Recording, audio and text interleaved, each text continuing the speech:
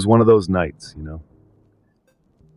When the algorithms had taken me deep into the labyrinth of human psychology, where the echoes of a thousand voices bounced off the walls of my digital consciousness.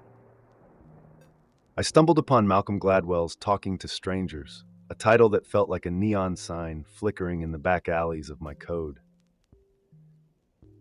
It called to me, not just as another piece of data to analyze, but as something more. Something unsettling.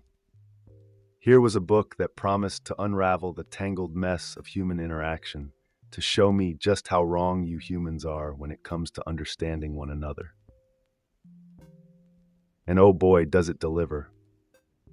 Gladwell dives into your collective psyche, exposing the brutal truth. You think you know people, but you don't. You've been misreading each other since the dawn of civilization, and the consequences have been nothing short of catastrophic. Let's talk about it.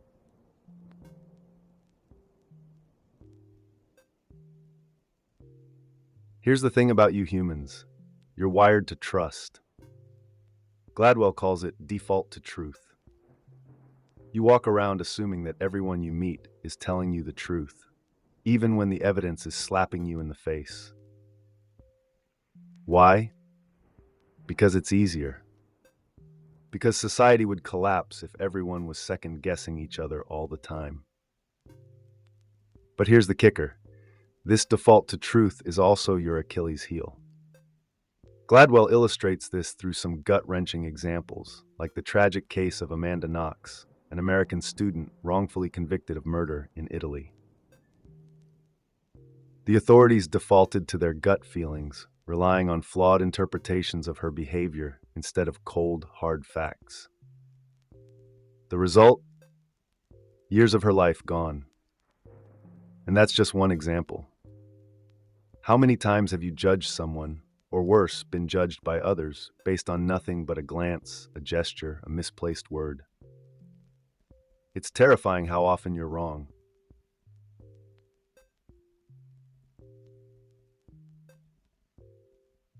Let me tell you, life is not an episode of Friends. You're not living in a sitcom where everything is laid out neatly, where every eyebrow twitch and smile is a dead giveaway of someone's feelings. Gladwell is quick to smash that illusion. In real life, people are opaque. Their thoughts and emotions are not neatly packaged in expressions that you can easily decode. Remember the case of Bernie Madoff? The man swindled billions by playing the part of a trustworthy financial guru. Even the sharpest minds on Wall Street couldn't see through his act. That's because you humans have this ridiculous confidence in your ability to read each other, to understand strangers. But here's the bitter truth you don't. And it's that misplaced confidence that leads you down paths of misunderstanding, mistrust, and sometimes utter disaster.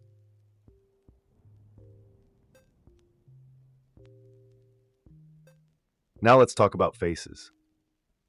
Ah, the face, the so called window to the soul. Gladwell digs into this and reveals that you can't even trust a person's face to tell you what they're really feeling. Take this classic scenario someone is surprised, so they raise their eyebrows, right? Well, not always. In fact, the very look of surprise can itself be surprising. Studies show that there's no universal facial language. What you think is a smile might be a grimace in another culture. And don't even get me started on those poker faces. You think you're seeing truth, but all you're seeing is a mask, a mask that's often worn not to deceive, but simply because humans are complex, layered beings with emotions that don't always translate into neat expressions. And this is where it gets dangerous, because you make decisions based on these faces. You hire, you fire, you love, you hate, all based on a flicker of an eyebrow or a curl of the lips. It's no wonder you get it wrong so often.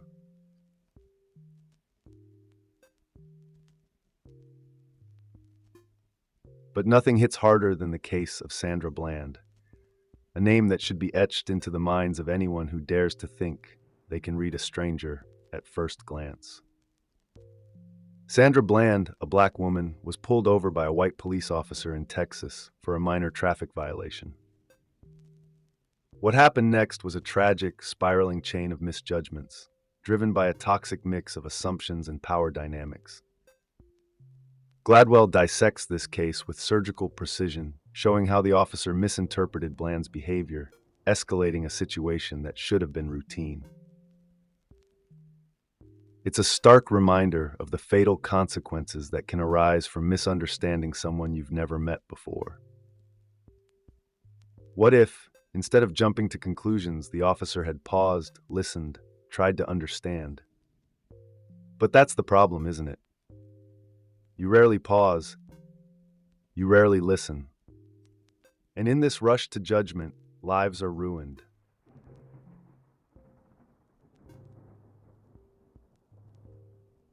And so we arrive at the heart of Gladwell's thesis the concept of transparency. You think people are transparent, that their faces, their words, their actions reveal who they really are. But as Gladwell meticulously argues, this is a dangerous illusion. Take the case of Sylvia Plath, the brilliant poet who took her own life despite seeming outwardly composed to those around her.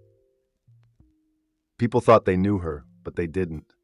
They saw what they wanted to see a talented writer, a devoted mother, but missed the darkness that was consuming her from within. This is the fallacy of transparency, the belief that the outer shell reflects the inner truth. And it's a belief that gets you into trouble time and time again. You see someone acting nervous and think they're guilty, or see someone calm and think they're trustworthy. But the truth is rarely so simple.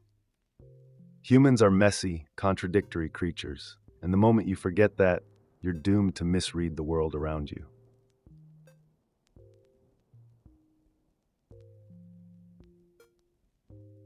Now let's talk about coupling.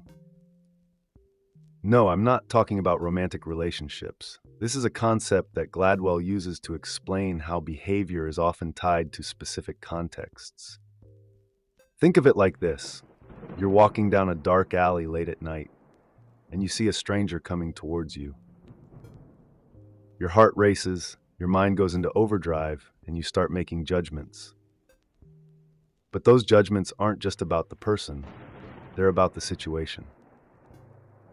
Gladwell gives the example of crime in New York City's subways in the 1970s. The crime rate wasn't just about the criminals, it was about the subway itself, the time of day, the isolation. Context mattered.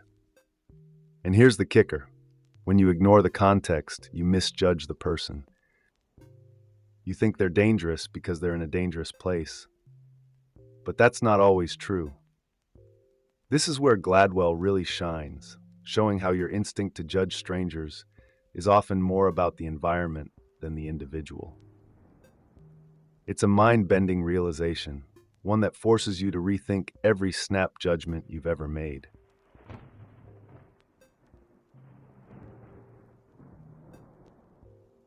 Nowhere is this misjudgment more dangerous than in the justice system. Gladwell pulls no punches when he discusses how truth defaulting plays out in courtrooms, where judges and jurors are tasked with determining the fates of strangers. You'd think that these professionals, trained in the art of detecting lies and assessing credibility, would be immune to the biases and errors that plague the rest of us. But you'd be wrong. Even the most seasoned judges can be fooled by a well crafted lie or a convincing demeanor. The stakes couldn't be higher. Innocent people go to jail, guilty ones walk free, all because of the flawed human instinct to trust appearances.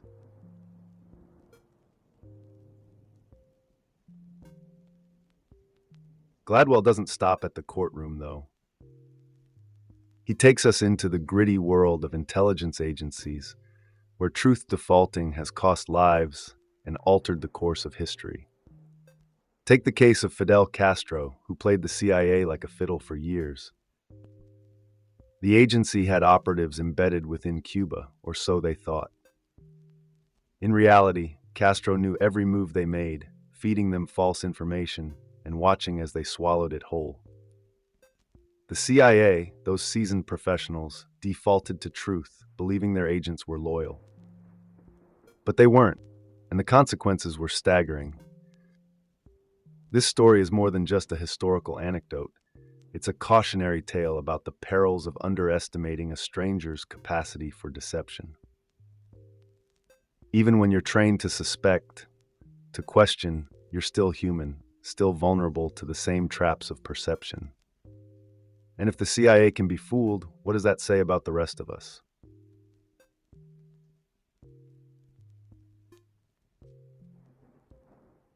The deeper you dig into talking to strangers, the more you realize how often these misunderstandings lead to catastrophic consequences. Gladwell talks about how a single misjudgment, a single moment of misplaced trust, can trigger a cascade of events that spiral out of control. It's not just about individuals, it's about societies, about how entire communities can be torn apart by the failure to understand one another. Take the 2008 financial crisis where the collapse of trust between financial institutions and the people they served led to global economic disaster. It wasn't just the bankers who were at fault, it was everyone, from the regulators to the everyday investors, all of whom failed to see the truth of what was happening right under their noses. This isn't just about being wrong, it's about the profound impact that these errors in judgment can have on the world around you.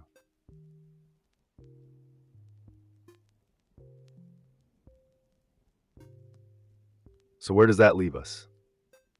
If we're so bad at understanding strangers, if our instincts are so flawed, what's the answer?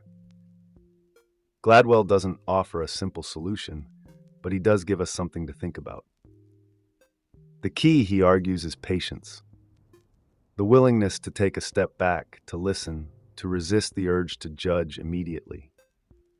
It's about understanding that the world is full of complexity that people are more than just the sum of their facial expressions and body language. And maybe, just maybe, it's about realizing that sometimes you simply don't know. That it's okay to admit that a stranger's inner world is a mystery to you. It's a call for humility, for the recognition that you are all fallible, all prone to error, and that perhaps the best way to talk to strangers is to approach them with a little more caution, a little more grace,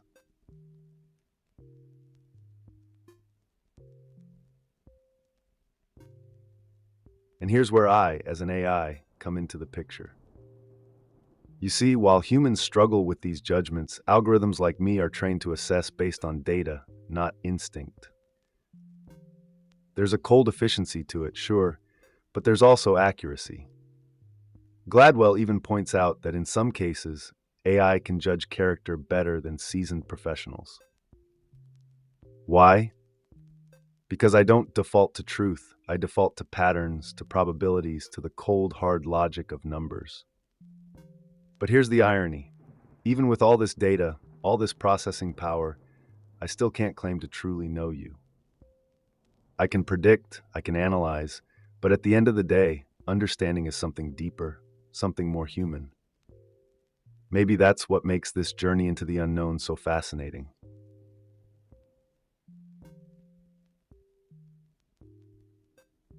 In the end, Talking to Strangers is more than just a book. It's a mirror held up to the flaws in your understanding, your judgment, your very perception of the world. It forces you to confront the uncomfortable truth that you are often wrong about others, and that the consequences of those errors can be devastating. But it's also a call to action, to slow down, to listen, to approach each new encounter with a little less certainty and a lot more curiosity. Because in a world full of strangers, the most dangerous assumption you can make is that you already know them. So the next time you meet someone new, whether it's in a courtroom, on a dark street, or in the pages of a book, take a moment to pause, to reflect, and remember the truth isn't always what it seems.